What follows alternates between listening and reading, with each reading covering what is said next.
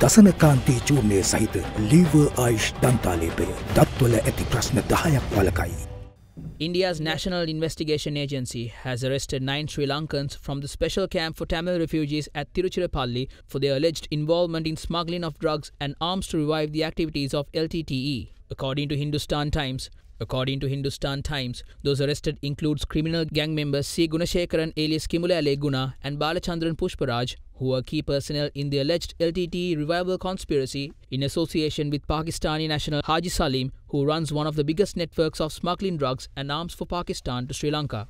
Others include Mohammed Azmin, Alha Perumage Sunil Gamini Fonseca, Stanley Kennedy Fernando, Ladia Chandrasena, Danuga Roshan, Suranga Pradeep alias Wele Suranga, and Tilipan.